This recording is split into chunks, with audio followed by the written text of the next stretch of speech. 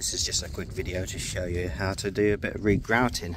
So today I'm using Sikafast, uh, fast joint. It's easy, you just sweep it in and compress it. So this colour is deep grey, which is a nice grey colour as you can see. And essentially it is literally as it says on the tin.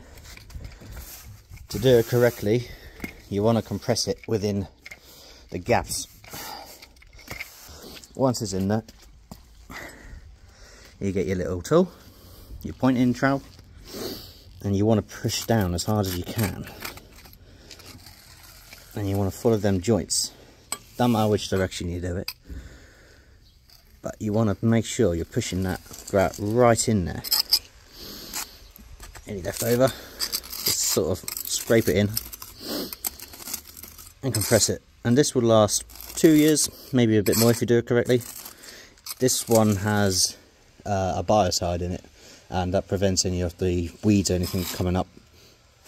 As long as you do it right you can actually pressure wash over the top of this.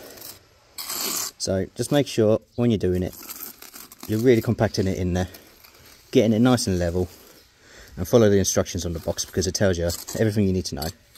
But if you just sweep it in and just leave it, it's all going to just come out, even in the rain. And then once you're done, you've got to keep it wet. And all you do, you just follow it down with the hose pipe. Keep it on a uh, light mister mode. And just sweep it all away. Okay. Bye. Finished pointing this patio now. And the whole lot is all compressed in. I've given it a sweep over after letting it dry. Just to get rid of any of the loose bits. And that's it, job's all done. It took me three and a half boxes of the Sika fill. Um, so make sure you do uh, count that into your, your pricing. Uh, at the moment they're about 35 quid a box and you get two packs in there.